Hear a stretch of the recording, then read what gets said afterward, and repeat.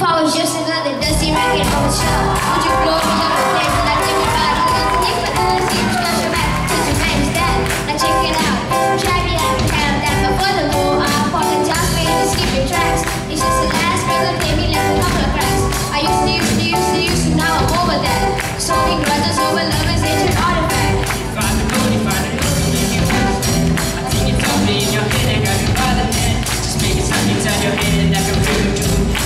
Cause it's serious,